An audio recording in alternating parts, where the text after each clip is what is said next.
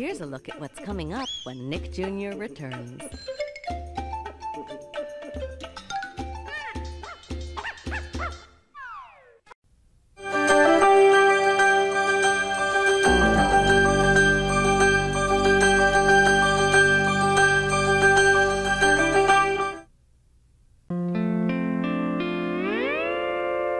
Coming up next is your fifth chance to see this week's Blue's Clues. Because the more preschoolers watch, the more they learn, know, and feel good about themselves. And that's the way preschoolers learn.